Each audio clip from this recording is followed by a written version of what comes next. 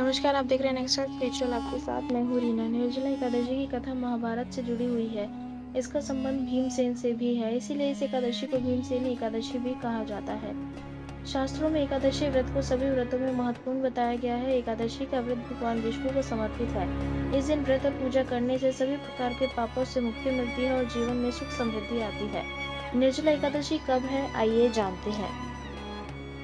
पंचांग के अनुसार 10 जून 2022 को एकादशी तिथि सुबह सात बजकर पच्चीस मिनट से प्रारंभ होकर अगले दिन, यानी कि 11 जून 2022 शाम पाँच बजकर पैंतालीस मिनट पर समाप्त होगी। इस दिन व्रत का पारण भी किया जाएगा।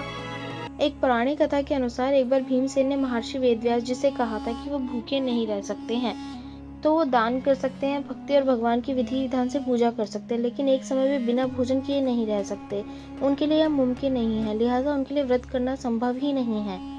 ऐसे में उन्हें कोई ऐसा व्रत बताइए जो सिर्फ़ एक बार करने से साल भर के व्रतों का फल उन्हें मिल जाए। तब व्यास जी ने उन्हें ज्येष्ठ माह के शुक्ल पक्ष की निर्जला एकादशी के बारे में बताया था। वृषभ और मिथुन की संक्रांति के बीच आने वाली इस एकादशी पर अन्न ही नहीं, बल्कि जल की एक बूंद भी ग्रहण नहीं की जाती। लेकिन ये कठिन व्रत अगर कोई मनुष्य करे तो सभी पापों से मुक्ति मिल जाती है। एकादशी तिथि से लेकर द्वादशी तिथि के सूर्योदय तक ये व्रत चलता है और इसके बाद ही व्रत का पारण किया जाता है। अगर आपको हमारी ये जानकारी अच्छी लगी हो तो कमेंट करके ज़रूर बताएँ। वीडियो को लाइक और शेयर करना ना भूलें और हमारे आने वाले वीडियोज़ के अपडेट पाने के लिए चैनल को सब्सक्राइब करें। साथ ही बेलाइकन दबाना ना भूलें।